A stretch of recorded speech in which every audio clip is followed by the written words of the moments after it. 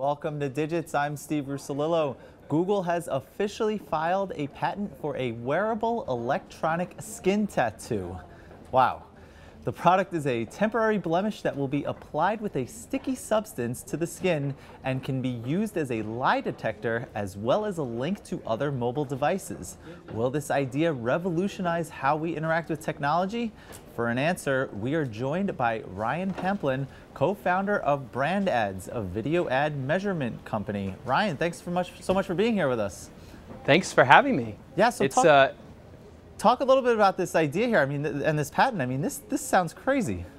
It does. It sounds like uh, one of those sci-fi kind of ideas.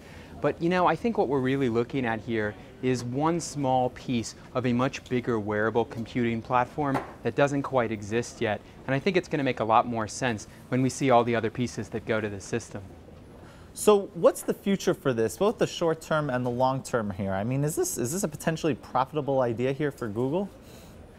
Sure, I think, you know, wearable computing is absolutely uh, the future of computing. And, you know, this is kind of uh, the input device for whatever that future wearable computing device is. And it's absolutely uh, going to drive a lot of revenue for Google because it's a whole new area. Uh, but this is really just a small piece. So on its own, I don't know if it's going to drive revenue, but as a whole system, absolutely. Big opportunities on the horizon. You're, we're seeing a little uh, an image there. I mean, when, when I think of wearable technologies, at least right now, I think of you know Google Glass. I mean, this this seems like such a the, the next step in in that sort of evolution. So one, I'm wondering if that's the case, and two, uh, the idea of this being a, a, calling it a tattoo. That's sort of an interesting sort of it, it's a branding opportunity, or, or why use the word tattoo here? Calling it a tattoo is something that puzzled me too initially. Uh, although, you know, it's doing a great job of getting the press talking about it and getting people interested and excited. If they just called it a throat microphone, I don't know if that would have the same impact as a tattoo. But it's really a sticker with a microchip inside of it, uh, which is going to have some sort of power source embedded as well. Uh, it's unclear exactly how it will work technically, but uh, you know the idea is to apply it here on the throat and then have it wirelessly communicate with uh, another device that actually will connect you to your network.